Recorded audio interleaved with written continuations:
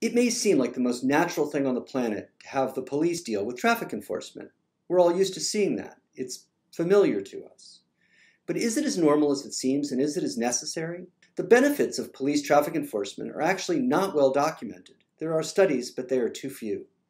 The cost of traffic enforcement, though, are huge.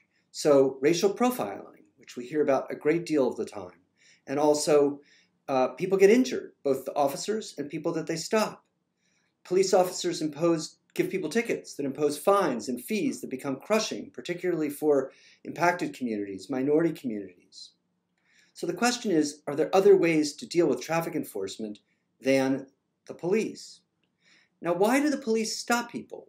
One reason, of course, that you think is traffic safety. But in many jurisdictions, the vast majority of the stops are not for traffic safety. They are a tool to fight violent crime. This is something that's been promoted by the U.S. Department of Justice and advanced throughout the country.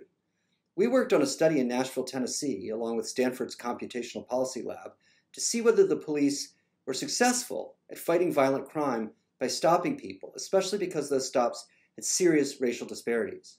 And we found that there was absolutely no relationship, none, between stopping people to fight violent crime and its effect on violent crime. And as a result, Nashville has reduced its traffic stops by 60%.